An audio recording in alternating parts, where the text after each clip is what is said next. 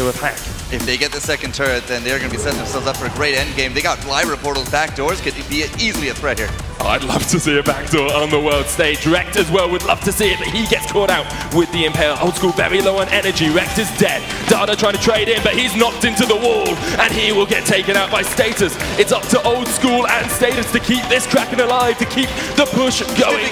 The Crystal Turret's going to fall. It could be game forecourt as Hack play the last defenders. Old School looking for the Crystal. They will take down Sense Play. It's all up to Youngjoo now, but who does he focus? Does he go for Status? Does he go for Old School? Old School's the target, and he's still alive somehow. Eventually taken down. Now it's up to Status. It's a 1v1, and Youngjoo